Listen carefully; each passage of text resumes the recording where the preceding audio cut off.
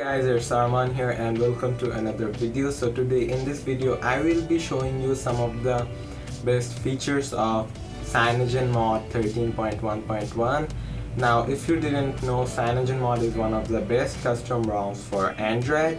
And I will show you some of the main features of that ROM and let's get into it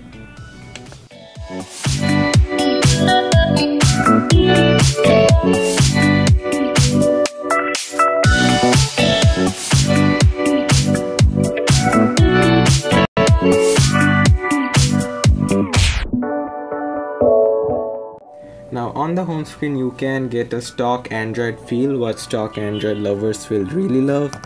I do really love this feel a lot. Now CyanogenMod has its very own camera UI. You just have to swipe down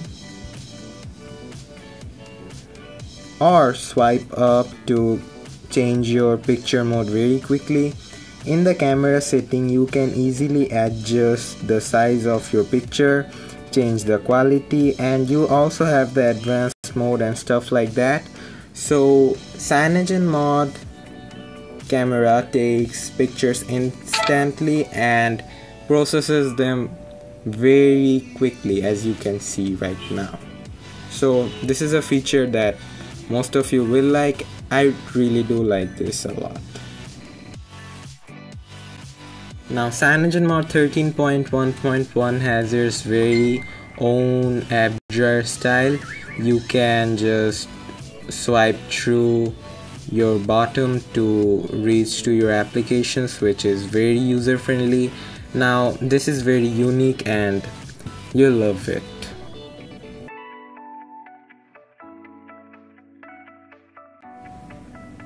Now CyanogenMod has a very good battery backup it sends the phone into deep sleep mode when the user isn't using it. Now it's a very useful thing that everyone would like and the battery really stays for a long long time which is a very good thing.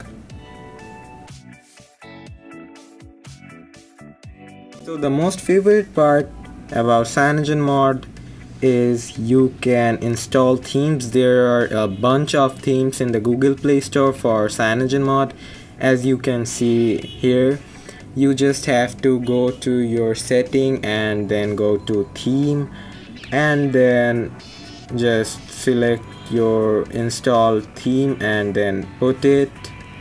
Apply it I mean.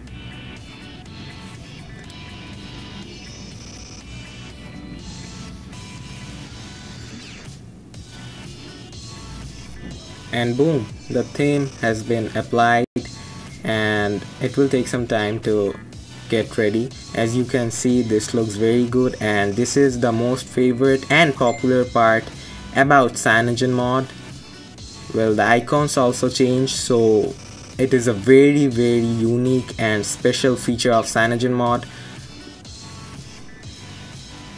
So guys this was it for now. I really hope you enjoyed my video and please do subscribe to my channel. I make regular videos and please do make sure to check out my previous videos and I will make a video on how you can flash custom ROMs on your device. So please do subscribe to my channel and I will see you in the next one. Peace